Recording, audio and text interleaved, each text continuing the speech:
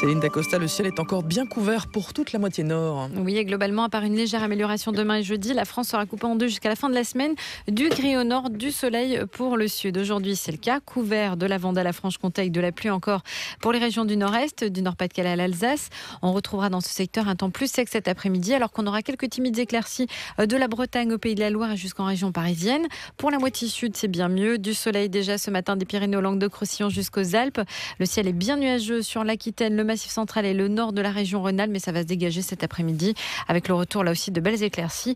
Il n'y a que près de la Garonne que les nuages seront encore un petit peu présents cet après-midi. Et côté thermomètre, on reste vraiment au-dessus des valeurs de saison. Oui, peu de changements par rapport à hier. Ce matin, euh, pour la moitié nord, 9 degrés à Strasbourg, 10 à Dunkerque et 3, 12 à Paris, Nantes, Quimper, même 14 en ce moment du côté de la Rochelle. Sur la moitié sud, c'est plus frais. On a 0 degrés à Tarbes et Grenoble, 2 degrés à Albi, 5 à Montpellier, 8 à Saint-Etienne, 10 à Toulon, 15 degrés à Calvi. Et puis cet après-midi, les maximales atteignent souvent 11 à 12 degrés euh, du nord-est jusqu'au massif central, 13 à 15 degrés ailleurs avec 13 à Paris et 16 à 18 degrés sur les bords de la Méditerranée. Céline Dacosta, merci. À tout à l'heure.